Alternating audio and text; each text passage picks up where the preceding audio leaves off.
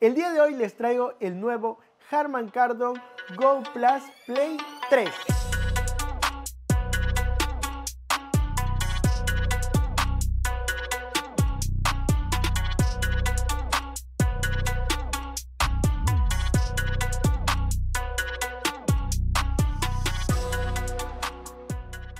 Bien, vamos a ver un poco qué nos indica la caja.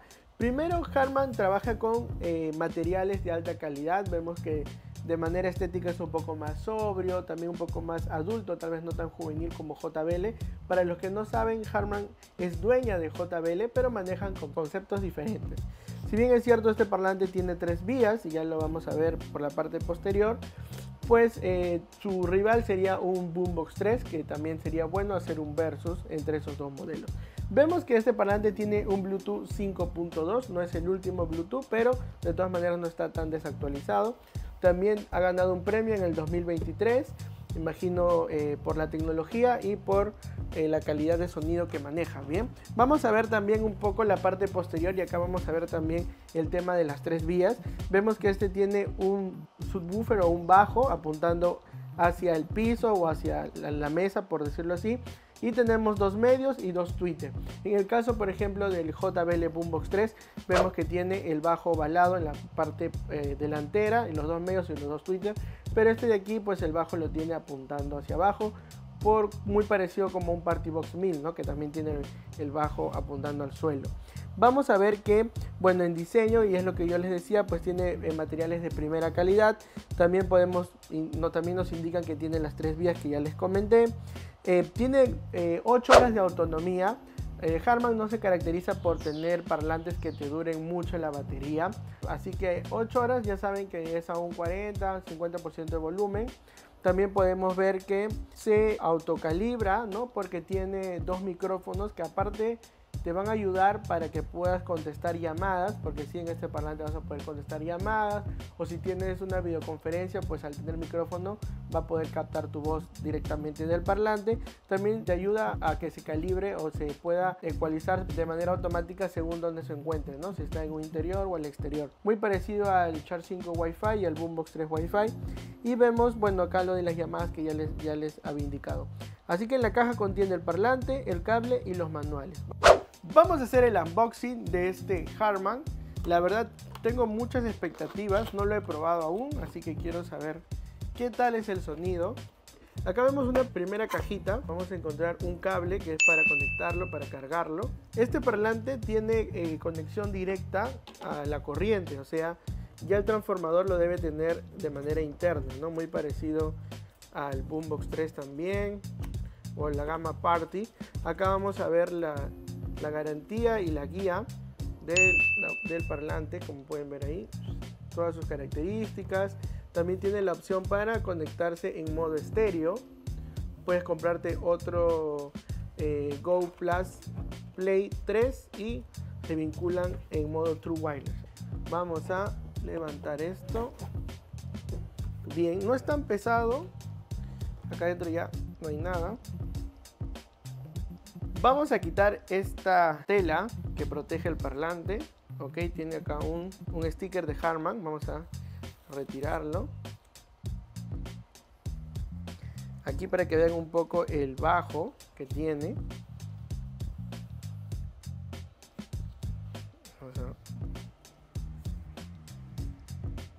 Genial, esto de acá es de un metal porque está friecito, así que no es plástico ni nada, es de un buen material. Vemos también que aquí en la parte de arriba pues tiene como un cristal o, un plástico transparente. Van a ver que los botones son táctiles. Tenemos aquí el botón de Bluetooth, tenemos el volumen menos, eh, prender y apagar, volumen más y para contestar el teléfono o una eh, videollamada en todo caso, ¿no? Así que está muy bonito, la verdad es un parlante muy sobrio. No pesa tanto, pensé que iba a pesar un poquito más. Creo que el Boombox 3 pesa un poco más, tal vez por la batería. Acá vamos a ver también las conexiones. Tenemos la entrada corriente para que puedan cargar el parlante. Tenemos eh, salida, ¿no? Tipo C, porque este parlante te sirve como power bank. Vas a poder cargar tus dispositivos. Y una entrada auxiliar para que puedas conectar tal vez tu televisor por cable. Aunque actualmente ya todo se maneja por Bluetooth, pero tienes esa opción. Puedes conectar tu Blu-ray si eres ya un poco retro. O si tienes un DAC, también puedes eh, conectarlo ahí, ¿no? Vamos a encender el parlante. Como ven es un panel táctil. Listo, ya encendió. Así que para poder vincularlo, pues presionamos aquí el botón de Bluetooth. Va a emitir un sonido y ustedes lo van a buscar en su dispositivo. Una vez que esté conectado, va a tener este ruido y con ello ya van a poder escuchar su música. Vamos a ir con la prueba de sonido para que ustedes puedan escuchar y poder apreciar lo mejor posible la calidad de sonido de este parlante. Pero antes, no te olvides de suscribirte, activar la campanita para que se te notifique si subimos un nuevo video y pon en los comentarios qué te pareció este parlante de la marca Harman, con qué otro quieres verlo competir y si deseas que traigamos otro modelo a nuestro canal. Vamos a un 50% de volumen.